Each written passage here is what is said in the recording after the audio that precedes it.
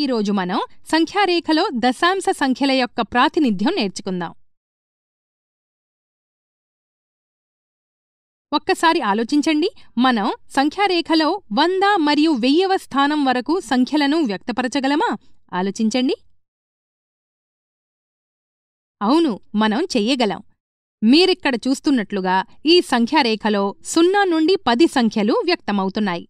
మనం సంఖ్యారేఖ అనే నంబర్ లైన్ను విస్తరిస్తే అప్పుడు సున్నా నుండి ఒకటి వరకు ఉన్న వ్యత్యాసాన్ని పది సమాన భాగాలుగా విభజించవచ్చు. దీంతో మనం సున్నా పాయింట్ ఒకటి సున్నా పాయింట్ రెండు సున్నా పాయింట్ మూడు మొదలైన సంఖ్యలను వ్యక్తీకరించవచ్చు. అదేవిధంగా మనం సంఖ్యారేఖని మరింత పెద్దదిగా చేస్తే అప్పుడు మనం సున్నా మరియు సున్నా పాయింట్ ఒకటి తేడాతో పది భాగాలను కూడా చేయవచ్చు. ఈ విధంగా మనం సున్నా నుండి ఒకటి వరకు మొత్తం వంద భాగాలను తయారు చేయవచ్చు.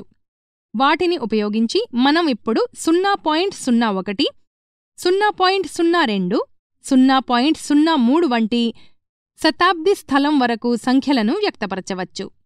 అదేవిధంగా మనం సంఖ్యారేఖను మరింత విస్తరిస్తాము మరియు సున్నా నుండి సున్నా పాయింట్ సున్నా ఒకటి వరకు వ్యత్యాసాన్ని పది భాగాలుగా విభజిస్తాము. ఇక్కడ ప్రతి భాగం వెయ్యవ భాగం అవుతుంది. అంటే ఇప్పుడు మనం సున్నా పాయింట్ సున్నా సున్నా ఒకటి సున్నా పాయింట్ సున్నా సున్నా రెండు సున్నా పాయింట్ సున్నా సున్నా మూడు వంటి వెయ్యవ స్థానం వరకు సంఖ్యలను కూడా వ్యక్తీకరించవచ్చు. ఈరోజు మనం సంఖ్యారేఖలో దశాంశ సంఖ్యల యొక్క ప్రాతినిధ్యం నేర్చుకున్నాము. దీనికి సంబంధించిన కొన్ని ఉదాహరణలు తదుపరి వీడియోలో చూద్దాం.